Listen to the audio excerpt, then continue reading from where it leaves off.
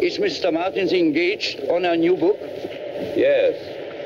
It's a murder story. It's based on fact. It's called The Third Man.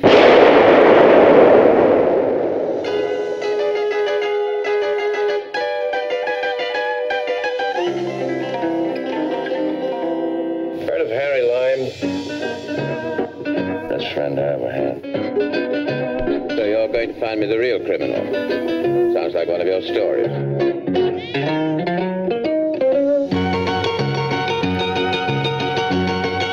You're wrong about Harry. You're wrong about everything.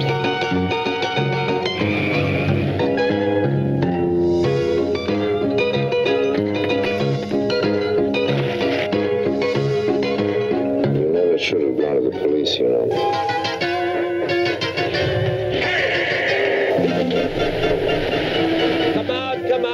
Whoever you are.